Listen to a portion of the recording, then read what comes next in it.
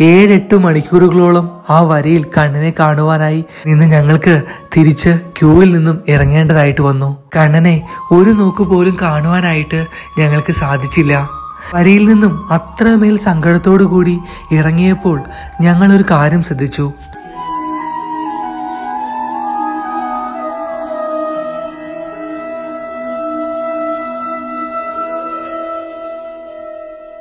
ഹരേ കൃഷ്ണ. ഭക്തജനങ്ങൾക്ക് എല്ലാവർക്കും ഞങ്ങളുടെ വിനീതമായ നമസ്കാരം. ഒരു പ്രധാനപ്പെട്ട കാര്യം പറയുവാൻ വേണ്ടിയാണ് ഇന്ന് ഞങ്ങൾ ഈ വീഡിയോ ചെയ്തിട്ടുള്ളത്. കഴിഞ്ഞ ദിവസം അതായത് ഏകാദശിക്ക് ശേഷം ഒരു ആന്റി ഞങ്ങൾക്ക് മെസ്സേജ് അയക്കുകയുണ്ടായി. ആന്റിക്കും ആന്റിയുടെ അമ്മയ്ക്കും ഈ തവണ ഗുരുവായൂർ ഏകാദശിക്ക് പോയപ്പോഴുണ്ടായ വേദനിപ്പിക്കുന്ന അല്ലെങ്കിൽ സങ്കടപ്പെടുത്തുന്ന ഒരു അനുഭവമാണ് എഴുതി അയച്ചത്. ആദ്യം അത് വായിച്ചപ്പോൾ അപ്പോൾ തന്നെ വീഡിയോ ആയി ചെയ്താലോ എന്ന് കരുതിയതാണ്. പിന്നെ വേണ്ട എന്ന് വെച്ചു. പിന്നീടും അതിനെക്കുറിച്ച് ആലോചിച്ചു. എന്തായാലും ചെയ്തേക്കാം. കാരണം എത്രയെത്ര ഭക്തജനങ്ങൾക്ക് ഇതേ രീതിയിലുള്ള അനുഭവം ഉണ്ടായി കാണും. അവരുടെയും അഭിപ്രായം കേൾക്കാലോ.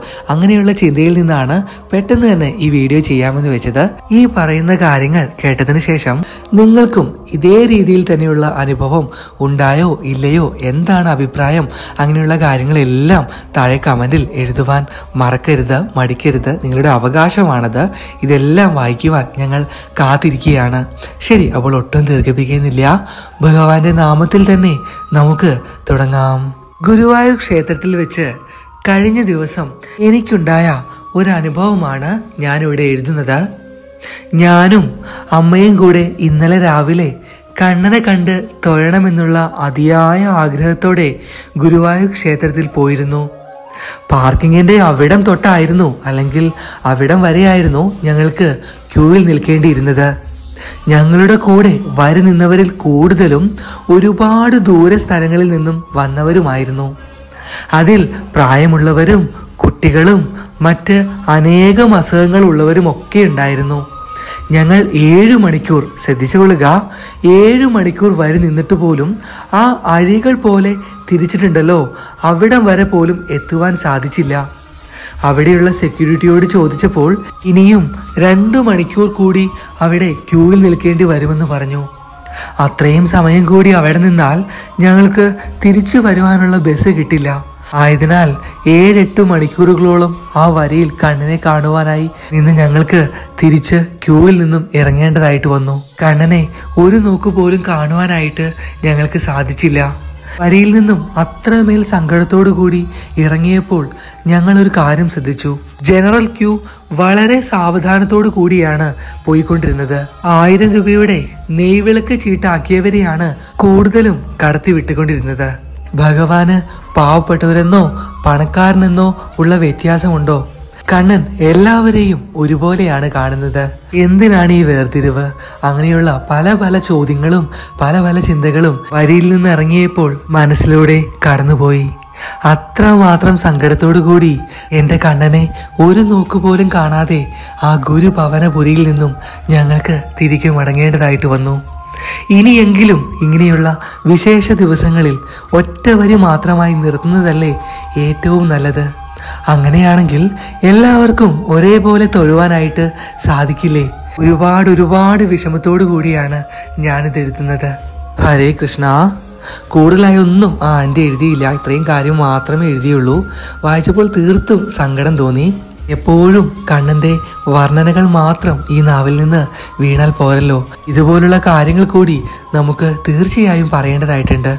ഓരോ ഭക്തജനങ്ങളിലേക്കായും എത്തിക്കേണ്ടതായിട്ടുണ്ട്. പ്രായമായ അച്ഛനും അമ്മമാരും കുട്ടികളുള്ളവരും എല്ലാം ഏഴും എട്ടും മണിക്കൂറുകളാണ് ക്യൂവിൽ നിൽക്കുന്നത് കണ്ണനെ കാണുവാൻ. എന്താണ് നിങ്ങളുടെ അഭിപ്രായം? സംവിധാനങ്ങളിൽ മാറ്റം വരുത്തേണ്ടതായിട്ടുണ്ടോ? ഏതെല്ലാം രീതിയിലുള്ള മാറ്റങ്ങളാണ് നിങ്ങൾ ആഗ്രഹിക്കുന്നത്? നിങ്ങൾക്കും ഞങ്ങളുടെ ഭക്തജനങ്ങൾക്കും ഇതേ രീതിയിലുള്ള അനുഭവങ്ങൾ ജീവിതത്തിൽ ഉണ്ടായിട്ടുണ്ടോ? നിങ്ങളുടെ അഭിപ്രായങ്ങളും നിർദ്ദേശങ്ങളും വിമർശനങ്ങളും എല്ലാം താഴെ കമന്റിൽ എഴുതുവാൻ ഒട്ടും തന്നെ മടിക്കരുത് മറക്കരുത്.